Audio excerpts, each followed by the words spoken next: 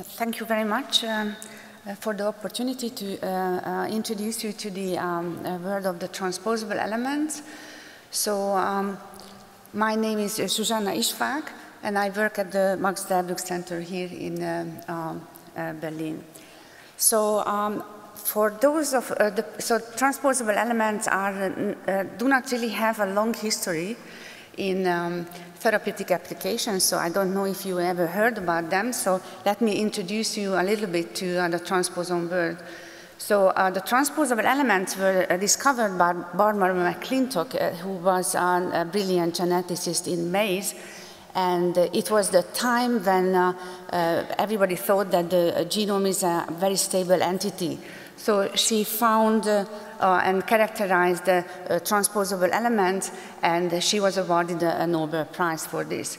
So the element I, I, am talking about today is the sleeping beauty element has a, um, a high similarity in, in, mechanism to this uh, uh, maize transposon that Barbara McClintock uh, um, discovered. So let me show you how these are uh, getting mobilized. So the transposable elements are very, very simple genetic um, uh, units. So usually they code for a single gene. They are um, um, have a, a, recognition sequence for the recombinase or the transposase that is able to perform all the um, uh, reactions of the, the uh, transposition. So, and um, this particular one, the sleeping beauty transposon, is um, uh, um, uh, inserting into a TA dinucleotide in the genome. So what is happening, so transposable elements are uh, integrated in, uh, and are present in all kinds of um, uh, genomes. So one, and when they get mobilized, uh, they are um, uh, cleaved out from the genome, leave a double-strand break behind, and they insert somewhere else in the genome. So this is the so-called uh, cut and paste mechanism. So you have a transposon mobilized from the, the uh, green uh, place to the yellow place.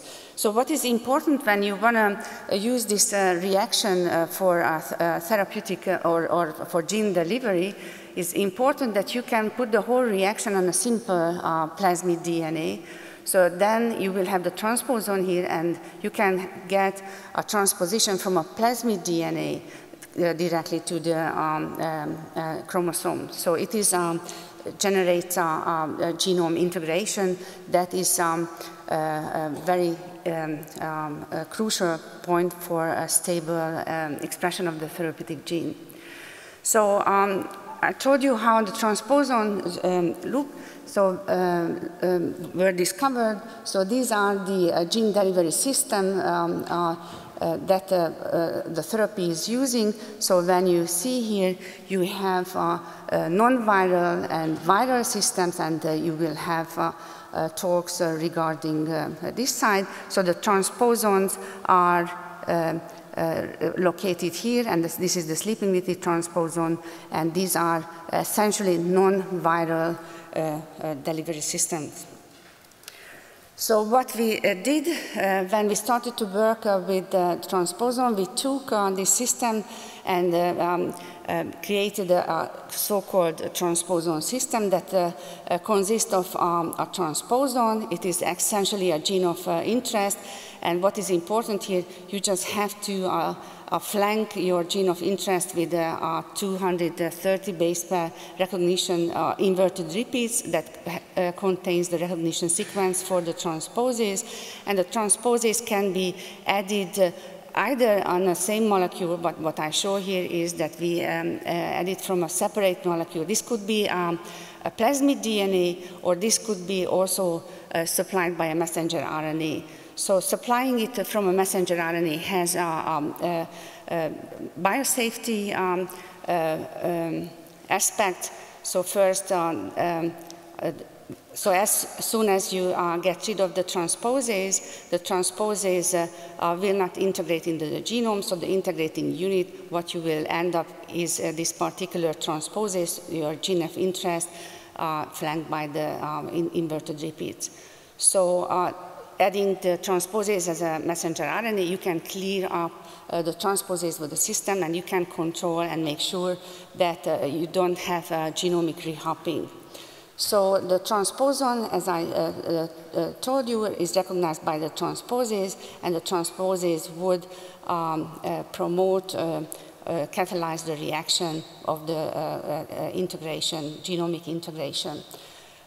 it's also an important point here that the transposon can be supplied as a plasmid DNA, but the, it is um, um, uh, it was further developed and uh, if you uh, make sure, if you reduce the distance between the inverted repeats and get rid of the bacteria-derived sequences from the plasmid DNA, you can end up with a so-called mini circle that has several advantages feature and um, uh, improves uh, the transposition reaction uh, by um, a great deal.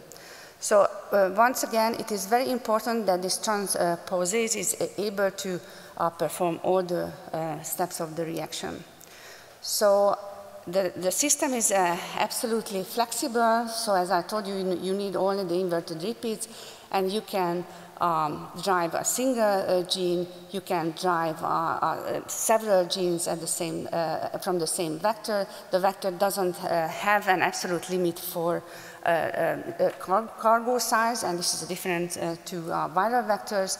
You can, from the same vector, you can have a, a expression, gene expression and knockdown. you can um, um, improve the biosafety uh, in introducing insulator to um, uh, protect the, the um, uh, genome from um, transactivation. And you can really deliver uh, um, cargoes uh, above uh, 10 kb with a, special configuration. We call it so-called sandwich um, construct when the inverted repeats are in a, a special orientation.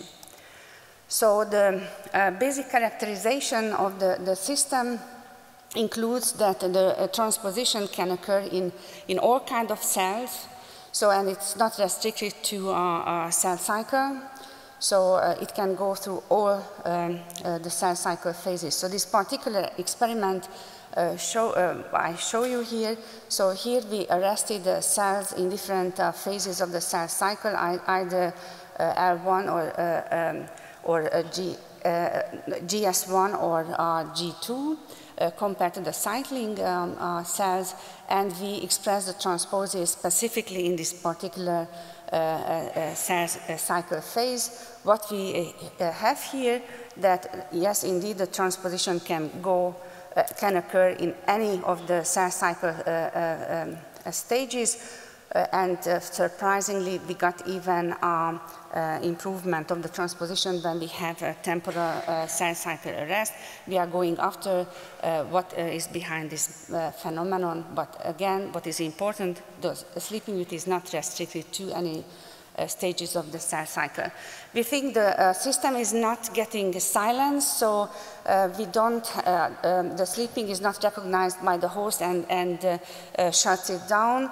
Uh, so we have very faithful uh, um, expression um, in transgenic animals that I don't show today, but also uh, cell lines. so here what we have, we have cell lines and we monitor the expression in time. these are passage numbers.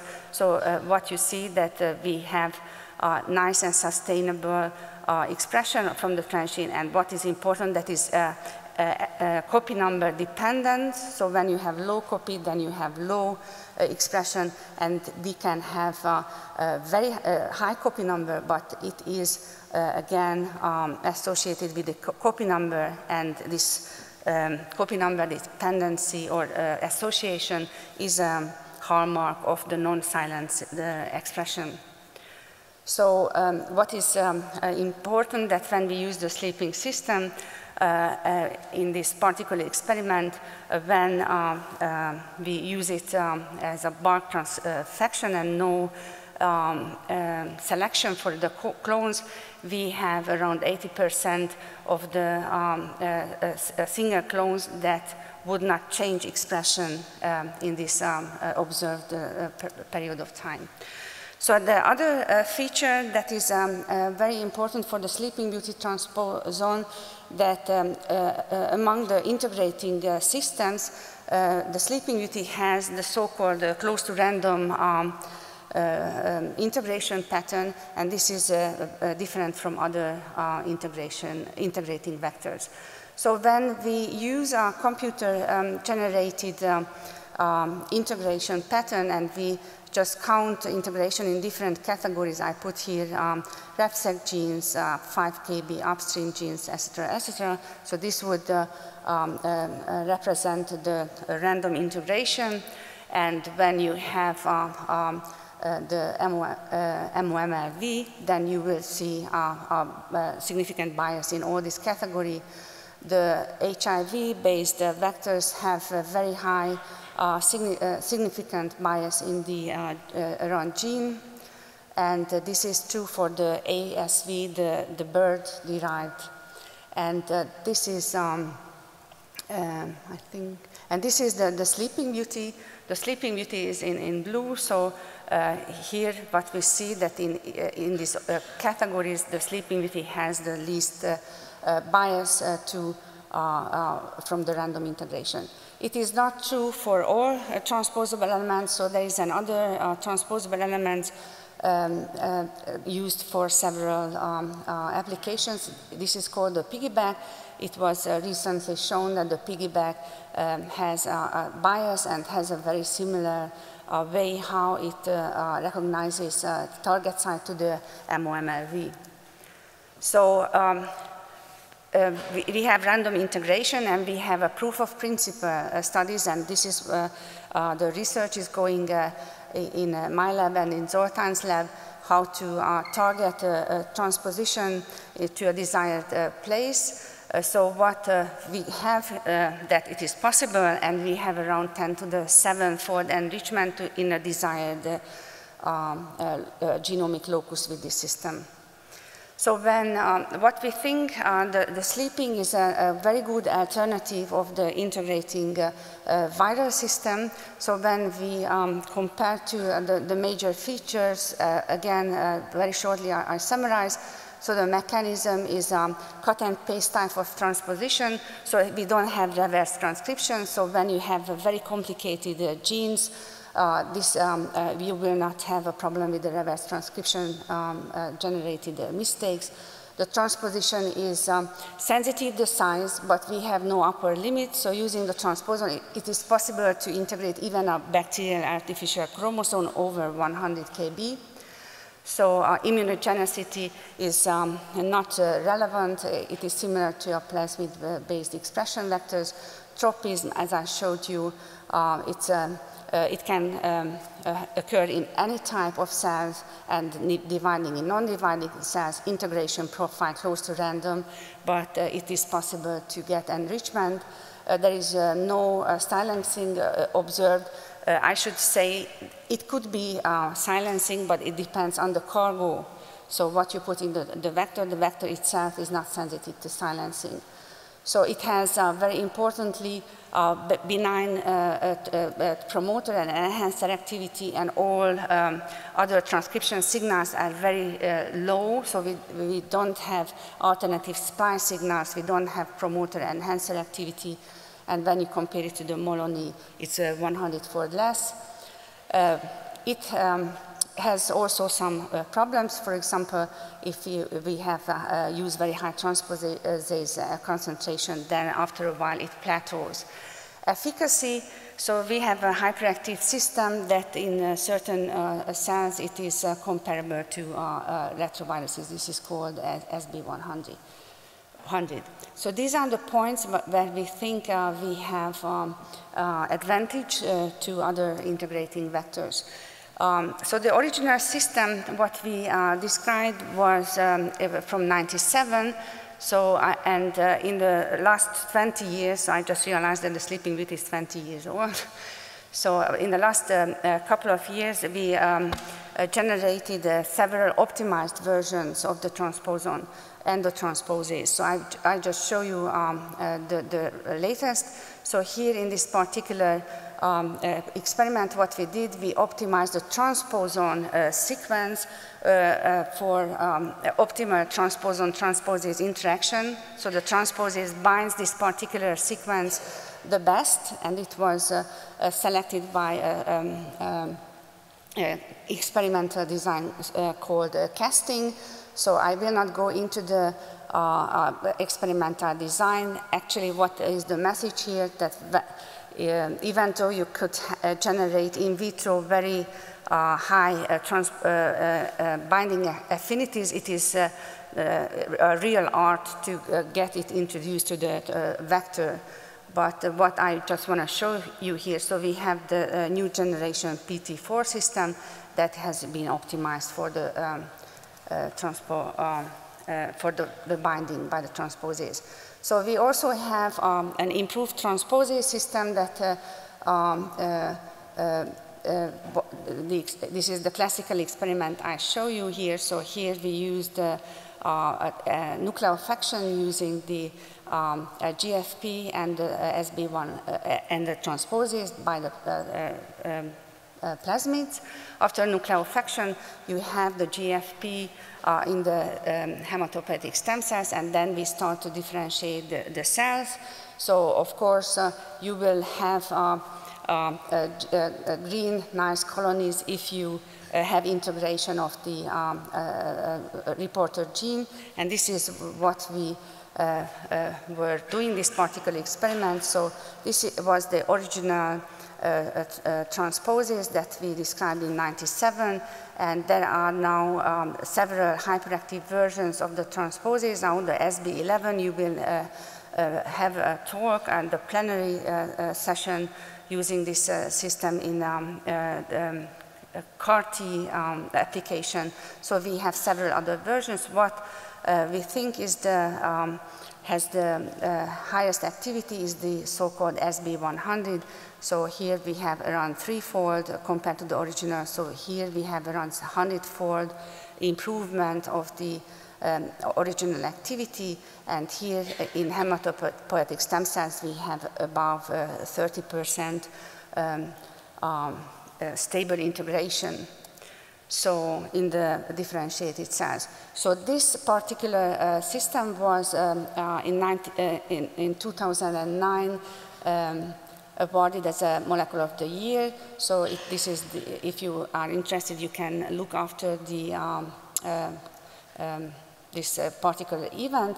So why uh, um, this SB100 was um, awarded?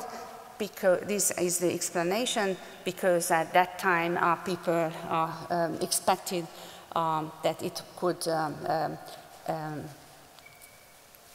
really contribute to the improvement of the gene uh, and cell therapy field. So um, as I uh, showed you one example, uh, the system for some reason is very um, working very nicely in uh, uh, various uh, uh, stem cells. So what I showed you is hematopoietic, stem cells, and here I just show you one application.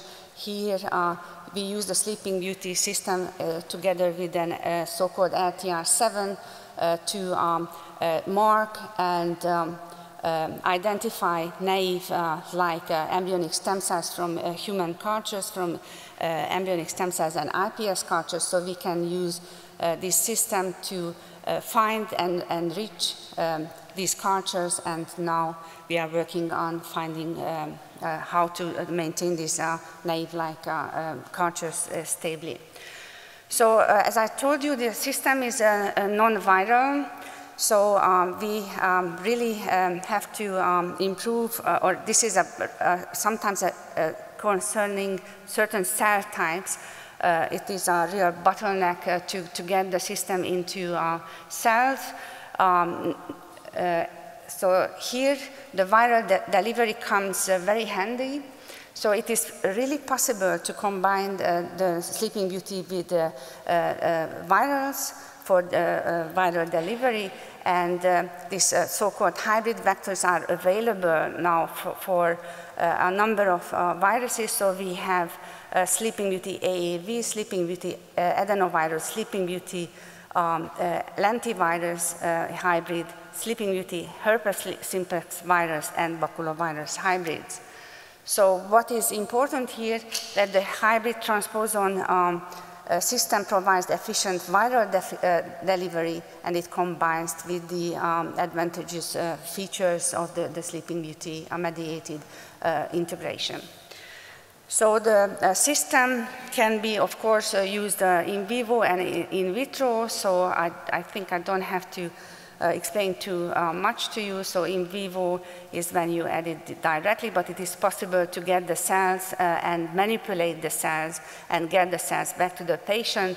And we uh, will have uh, several talks also that it is also uh, really much in the air that you have, can have the cells, you can um, generate induced pluripotent stem cells, you can manipulate them and get back the patient. So at this moment, we cannot really see how much uh, uh, this um, uh, avenue is um, um, feasible, but definitely this is the way how the, the field is going. So regarding the, the, sleeping beauty system, so I just collected some of the examples uh, from uh, in the last 20 years. So the system was used in several um, uh, preclinical uh, studies, and very importantly, now we are uh, in the clinic. So um, I think I so here I will not have time to talk about uh, each. Maybe I, I will just uh, uh, mention uh, a few that are, I think it's a very important steps forward in this um, avenue. So here there is a large uh, gene uh, delivery, and we have here a com combination with the adenovirus or with the nanotechnology. And I would uh, just uh, uh, shortly mention the three um, um, clinical trials where the sleeping beauty is used or will be used in a very short time. So this is the age-related macular degeneration. You will have a talk here at the beta lymphoma, the CAR-T will be a plenary session, and we have also um, uh, an Alzheimer's disease. Um, um, I will show you on the concept very shortly. So here, what is um, um, important that the sleeping beauty can be um, combined with uh, what I showed you can be electroporated, can be uh, combined with any physical um, uh, delivery systems, what it is uh, nice here, so here it was combined with the nanotechnology and uh, they uh, used a single uh, vector approach to uh, deliver the factor 8. This, they generated nanoparticles and they could use um, uh, in vivo delivery. And what was very important that in this uh, way, uh, modifying this uh, nanoparticle, it was possible to specifically target to a, a certain cell type the system. And uh, uh, this was um, very um, important four steps. Here I, I, show you another in vivo approach when the system is combined with adenovirus so here, what uh, and uh, they uh, again target a, a, a, certain cell type. In this particular case, it's hematopoietic stem cells. So this experiment was, uh, uh, I show you in, um, in mice. So you have the, the, uh, um, the mice, it's a humanized mice expressing the CD64, um, I, I, suppose, and you uh, use a chemical that uh, uh, chases out the, the cells to be targeted to the bloodstream. And then you use a simple uh, injection of the uh, sleeping beauty adenoviral uh, system. And then the, um, it is, then the cells are um, um, um going back or um, very nicely uh, absorbed back in the uh, bone marrow. So this uh, particular um, concept is now working. it is, um, was published or, in, in Blood and the efficiency was uh, not very high, but uh, uh, we are working together with the University of Washington and we have very good ideas how to improve the efficacy of this particular application. So what um, I um, summarize here the uh, part that uh, I told you that the Sleeping Beauty was, uh, no, the transposons were discovered by Barbara McClintock. It was 97 when the um, Sleeping Beauty was resurrected from actually salmonid fish, so we have nothing uh, similar in the human genome, very important, and the first clinical trial was in 2012. So if um, I can very sh uh, shortly show you the uh, concept on, of the uh, clinical trials, but very shortly because you will have, uh, uh, you will see um, talks about here. So this is um, concept, uh, uh, the concept is very interesting. So we use um, it, uh, it in, uh, to treat the um, age-related macular de degeneration. The cells are harvested from the iris uh, uh, pigment epithelial cells, and it is, they are nuclear affected ex vivo. And here is the proof of principle. The cells are expressing the, here the GFP, but the therapeutic gene, and the concept is that uh, these uh, treated cells are, after a very short uh, 45, 60 minute session, are transferred back to the patient. So this is a kind of ambulance uh, uh, type of concept. I like it very much. There is no um, um, long-term uh, culturing steps involved. So the second concept, again, very shortly, here is using the it, it was used uh, to treat um, uh, Alzheimer. So there was already a clinical uh, trial uh, using plasmid DNA with the Karolinska Institute where this uh, horrible uh, design vehicle was tested and proved that it is really can be implanted in the brain and these um, um, uh, this device uh, uh, contains um, cells that are expressing the therapeutic protein. This is the so-called encapsulation biodelivery system. The problem was that, that uh, they had a decline in the expression, and uh, now uh, they are using a, a, cell line that is generated using the, the Sleeping Beauty system and past phase one. So you will he hear um, talks um, uh, at the plenary session, and there is one uh, also um, uh, presented by Michael Hudacek. So this is uh, very important, and, uh, and we are very happy that the sleeping uh, moves into the immunotherapy. So um, immunotherapy was um, a highlight of the, the highlight in 2000 and, yeah. 14, yeah? So here the concept is that um, you use uh, the sleeping beauty system for uh, TCR or, or, CAR therapy uh, in this ex vivo uh, uh, setup. And uh, essentially the, the idea is the same when you use the lentiviral system, except the uh, or the gamma retroviral system, except you use the, the sleeping beauty. And what is the advantage when you uh, use the uh, sleeping beauty? So it's much, much simpler and much, much uh, faster, more flexible. And this is, uh, the, I think, the last slide. It uh, shows that it is a naked plasmid DNA compared to the retroviral system. The GMP-grade plasmid production is, is much cheaper when you compare to the retroviral production. The cost is uh, much uh, uh, lower when compared to the retrovirus, and you don't need uh, special conditions. So this is S1 conditions, and as I showed you, the integration pattern is much safer. So I just summarize. So I showed you, uh, I, I, gave an introductory talk about the sleeping beauty system that was um, uh, offers what we think um, an alternative to uh, uh, integrating viral approaches and has um, now at the clinical level, it is cost effective, flexible, and easy to upscale. And it can be combined with all kind of non-viral and also viral delivery systems. And we have a strong interest from the biotech. So the work I talked today um, is a huge effort uh, and uh, uh, lots of collaboration. So um, very important collaboration uh, with the SB100 system was Thierry van den Drieschen and Marine Chua. The in vivo uh, hematopoietic um, uh, adenovirus is um, work of Anja Erhard. You heard uh, her talk um, uh, earlier today, and uh, Andre Lieber at the University of Washington. Uh, we have very active ongoing collaboration at the Max Delbrück Center with Wolfgang Uckert and uh, Thomas Blankenstein. And there is, uh, I think, an important point. The MD Cell is a Helmholtz Innovation Lab that is, uh, uh, uh can uh, fund um, in a one-to-one ratio um, um, commercial activities.